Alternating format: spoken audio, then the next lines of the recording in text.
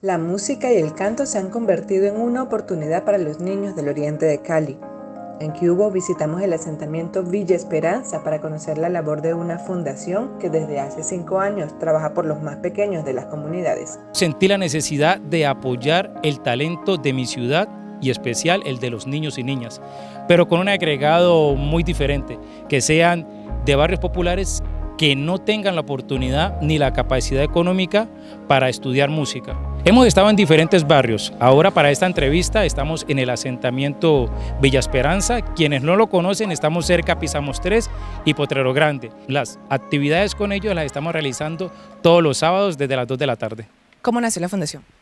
Bueno, nació de buscar en los barrios populares el talento en los niños y en las niñas y apoyarlos por medio de la música, para que no se pierdan el camino de la delincuencia, de la droga, de las pandillas, sino que tener la música como una herramienta para la prosperidad de los niños y niñas en los barrios populares.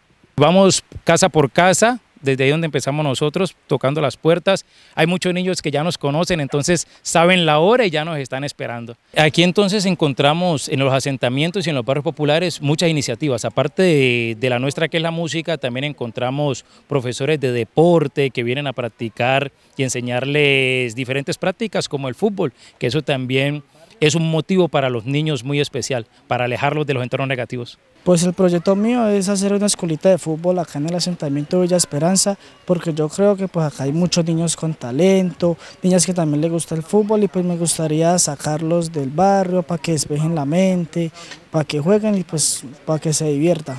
¿Qué quiere ser cuando sea grande? Quiero ser cantante, ayudar a la gente y policía. Yo quiero ser cantante, hacer policía y jugar fútbol. Y ayudar a las personas. Yo quiero ser cantante, ayudar a las personas y enfermera. Yo quiero ser cantante, ayudar a mi mamá y, y jugar fútbol.